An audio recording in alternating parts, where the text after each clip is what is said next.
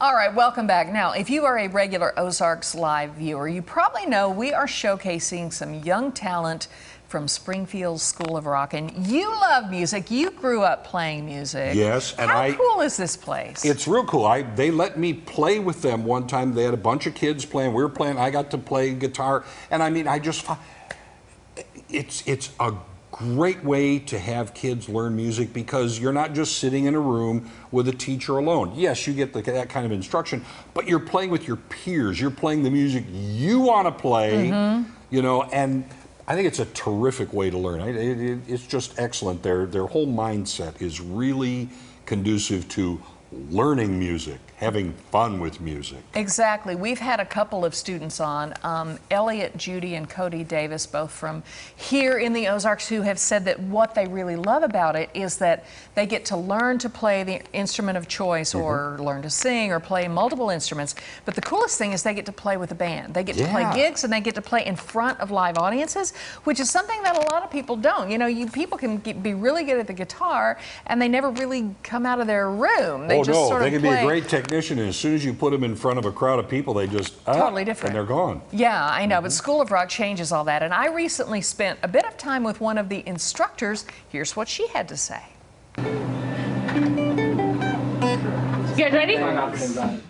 My name is Kim Painter, and um, I've been here for almost three years now. Well, Why do Rebel yell? Yeah. Why don't we do both? And I am the assistant general manager, and I also teach bass guitar, uh, vocals. It's so much fun as a teacher to see that moment of, aha, this is fun, I get this, I want to play more. Now we're doing the five over seven, so. They find commonality in um, uh, other things too, though, like what's going on in their school. Do they have a test this week? you know, there's always talk of how much homework they have to do, along with practicing everything else. But um, the friendships that they form here are uh, are very cool because it's not just the people that go to their school; it's across Springfield or even in Nixa. We have some kids that go to Nixa that come here and uh, other suburbs as well. So um, it's a chance to make more friends outside of your school circle.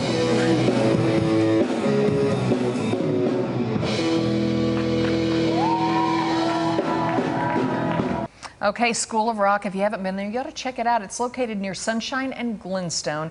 By the way, you can see a lot more videos on our Facebook and our Instagram pages. I spent a little bit of time over there with some of these students and talked to them. And, you know, some of these kids are young. You saw in some of those pictures yeah. with Kim, some of these kids are young, and you've got to admire that. I mean, how many of us that are my age and uh, say, man, I just wish I'd learned. I wish I'd kept up with my lessons. I wish I'd had a peer group like that that I could have stuck with and really. And that'll keep them involved more than anything. and it could keep them involved for life, which Yeah. I think is just the coolest thing. Yeah, I love it. Coming up, we'll visit I 44 Speedway. Lots more to come on Ozarks Live. Be right back.